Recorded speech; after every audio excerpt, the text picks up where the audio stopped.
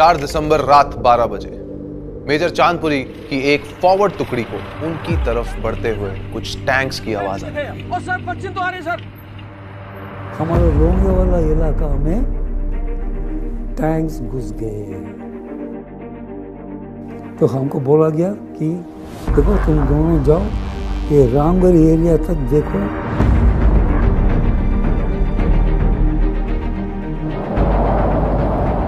जो leading tank आ रहा था, उसके दोनों तरफ़ से दो टैंक आके बहुत धूल उठा रहा था। ट्रैक करके 900 यार्ड्स जब आया अंदाज में, तब मैंने रॉकेट को फायरिंग किया। मेरा नंबर टू उधर से बोला direct hit congratulation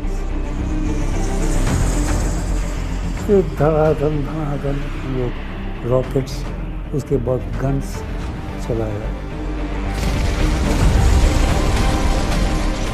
Every time we go down we go down to the range where इधर आई टेक द मॉन और लिए